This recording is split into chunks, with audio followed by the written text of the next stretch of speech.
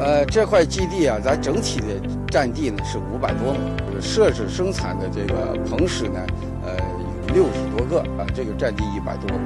呃，这个整体的今年呢，咱们征集到的全国的这个蔬菜品种有一千零八十八个，这也是从咱们天津，从咱们这个包括天津在内的十五个省区，呃，以及这个五十多个企业呃征集来的这些品种，覆盖了黄瓜呀。番茄呀，什么豆角啊，这个等等的十几种。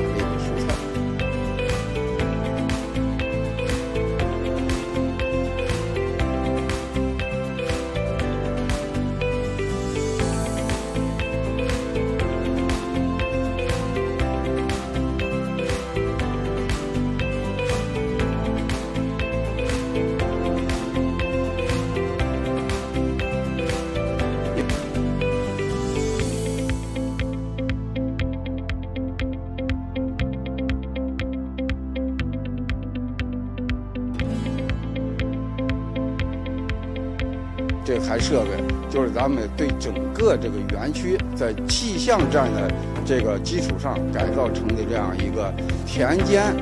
数字化监测仪。首先对天气，呃，这个天气你看有光照，有这些个风力啊，呃，有这个有这个降雨啊，呃，包括咱们的这个温度啊，气温每天的气温的变化，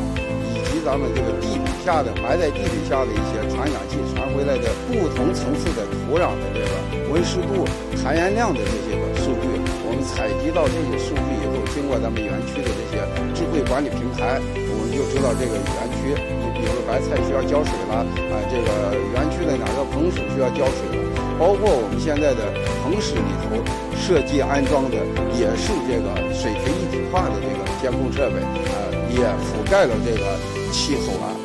这个。土壤条件呀，包括水分的这些东西，和棚室里头的温湿度，包括二氧化碳的这个浓度啊，这些就是都都采用这个自动化的这些东西啊。这个园区呢，将来我们就打造成一个，就是说呀，也是引领这个呃智慧农业的智慧社。